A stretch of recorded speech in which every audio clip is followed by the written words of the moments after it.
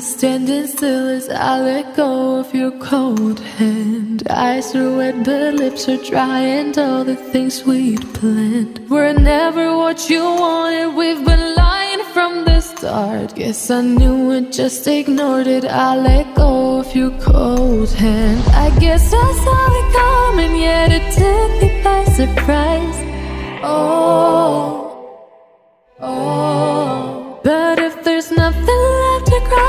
Then I will just crack a smile.